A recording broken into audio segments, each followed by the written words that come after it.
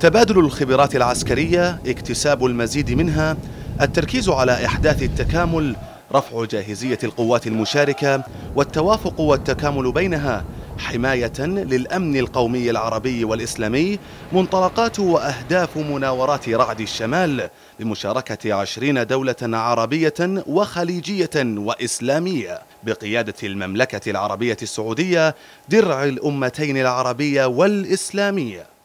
خمس مراحل عسكرية مرت بها مناورات رعد الشمال مع التركيز على تدريب الجيوش المشاركة على كيفية التعامل مع القوات غير النظامية والميليشيات والجماعات الإرهابية. في تناول عملي للتهديدات والتحديات التي تواجهها المنطقة والعالم. اتساع مسرح عمليات رعد الشمال من طريف إلى الحدود السعودية الكويتية العراقية كان بمثابة اختبار للبنى التحتية العسكرية للمملكة والذي تخطته بامتياز.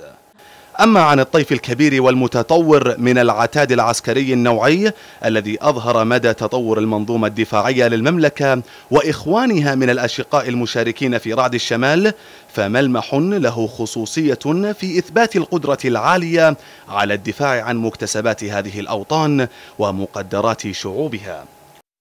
فمن الطائرات الجوية المشاركة الطائرة سي 130 وهي طائرة نقل جنود ومظليين. الطائرة F5 إيجل وهي طائرة مقاتلة. وكذلك طائرة التايفون التي تتميز بقدرات عالية قتالية فائقة. أما عن أمثلة القوات البرية المشاركة فهي الدبابة M60A3 المزودة بمدفع رئيس عيار 105 ملم الدبابة M1A2S المزودة بمدفع عيار 120 ملم والمدرعة برانا بقدراتها المتميزة وتملكها القوات البرية الملكية السعودية. لتؤكد مناورات رعد الشمال أنها فصل جديد من فصول العزم والحزم بقيادة سعودية وأن أمن المملكة ودول الخليج بل والمنطقة بأكملها خط أحمر.